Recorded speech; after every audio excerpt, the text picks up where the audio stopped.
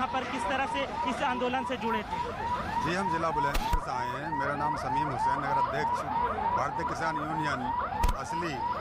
अब अब क्या प्लान है आप लोगों का? क्या कब तक यहाँ से सारे टेंट्स हट जाएँगे? कब तक लोग घर जाएँगे? सर इसमें कुछ तो जो संगठन है वो आ जा रहे हैं। कुछ आज के बाद यानी कि दो चार दिन पाँच सात दिन के अंदर पूरे यहाँ से टेंट हमारे अपने अपने घर जो किसान है वो पहुँच जाएँगे। तो आप आप ये बताइए कि क्या आप लोगों का आगे का क्या प्लान है? अब तक का जो संघर्ष है, उसको किस तरह से देखते हैं? इस तरह के संघर्ष को जीत की तरफ़ देखते हैं। ये किसान की जीत है ये एक साल संघर्ष करने की जीत है, और हमारे खोए हुए 703 किसान या 709 किसान हैं, उनकी बलिदान की जीत है। और हमारे जो सेवादार बाबा लोग हैं, जिन्होंने बड़े धूमधाम से और श्रद्धा के साथ गुरु नानक देव जी का बीस रुपये का चलाया हुआ लंगर इस इसमें सेवा करी है। उन्हीं का योगदान है। ये देश के अंदर 22 जो भाषा है हमारी, उन भाषा के के अलग अलग बोलने वाले लोगों का यहाँ योगदान है। तो तो ये जो पूरा आंदोलन है ये जो संघर्ष पिछले एक साल से चल रहा था इसको लोग अब एक जीत के तौर पर देख रहे हैं और चूँकि इनका जो मकसद था वो बहुत हद तक पूरा हो गया है तो अब लोग एक एक करके अपने घर वापस जाएँगे लेकिन एक सेलिब्रेशन के साथ जाएँगे ग्यारह बजे मेरे साथ मेरे साथ जावेद भी जुड़े हुए हैं इस वक्त सिंघू बॉर्डर से।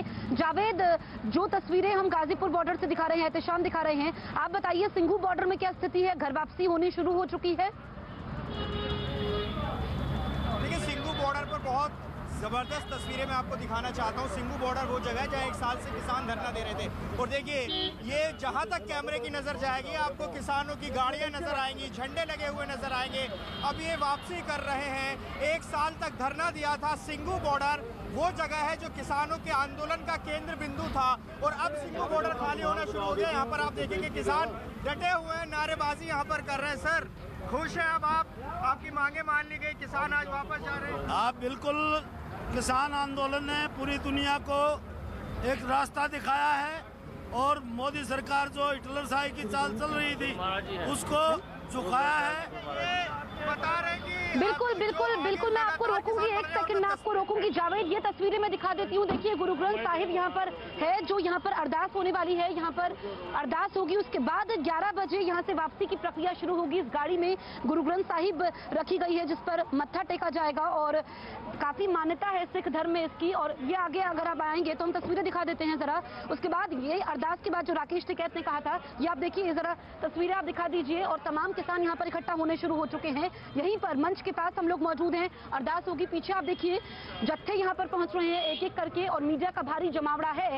इसके बाद यहाँ से जो तंबू हैं, वो हटाए जाएँगे और घर को अलग अलग राज्यों में, क्योंकि हमने देखा कि यहाँ पर बड़ी तादाद में किसान पंजाब से आए हुए हैं। इसके अलावा उत्तर प्रदेश के हैं, उत्तराखंड के हैं, मध्य प्रदेश के हैं, और तमाम राज्य सरकारों ने उनकी मांगों को मान लिया है। अब जावेद, मैं आपके पास लौटती हूँ, आप बातचीत करिए किसानों से, वहाँ की तस्वीरें दिखाइए।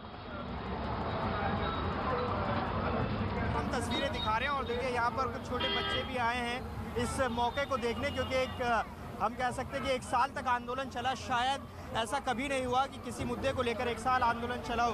तो आज किसान वापस जा रहे हैं, खुश हैं? बहुत ज़्यादा खुश हैं और बहुत ही अच्छी बात है ये। हम लोगों के लिए बहुत खुशी का मौका है ये। ये किसानों की एकता ने आज ये सब साबित करा है कि दुनिया में मतलब ऐसे लोग भी हैं जो पूरी दुनिया को हिला सकते हैं। और सर ये बताइए कि आज जो किसान वापस जा रहे हैं खुश नज़र आ रहे हैं? अब आज वापस हो रही है एक साल हाँ जी जी वंदे मातरम जी भाई जी सभी किसान खुश हैं। एक एमएसपी का और हो जाता तो और और ज़्यादा खुश हो एमएसपी का मुद्दा अभी रहेगा एमएसपी को लेकर लगातार आप आंदोलन की बात कर रहे हैं। आज जब घर लौटेंगे तो क्या कहेंगे घर जाकर एक साल आप लोग यहाँ पर टिके रहे? लंबा आंदोलन चला। लंबा चला ये। मोदी ने देता बहुत एमएसपी भी देगा। भी देगा।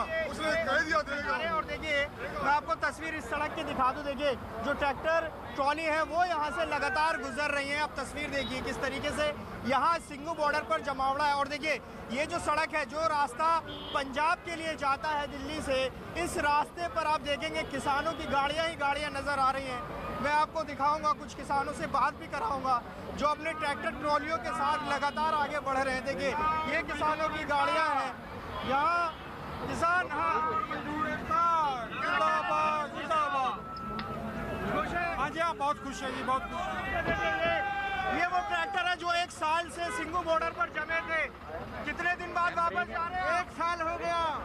एक साल हो गया।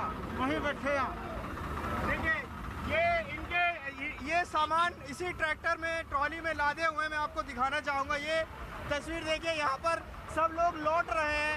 ये ट्रैक्टर लगातार आगे बढ़ रहे हैं। खुश हैं आप? बिल्कुल खुश हैं जी बिल्कुल खुश हैं। अब आगे क्या कार्यक्रम रहेंगे? पंजाब लौट कर क्या करना है?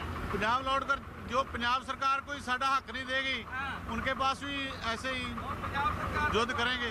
देखिए कह रहे हैं कि पंजाब सरकार अगर हक नहीं देगी तो उनके खिलाफ भी ऐसे आंदोलन किया जाएगा। तो ये तस्वीर सिंगू बॉर्डर की जहाँ कैमरे की नज़र जाएगी, गाड़ियाँ ही गाड़ी नज़र आ रही हैं, ट्रैक्टर, ट्रॉलियाँ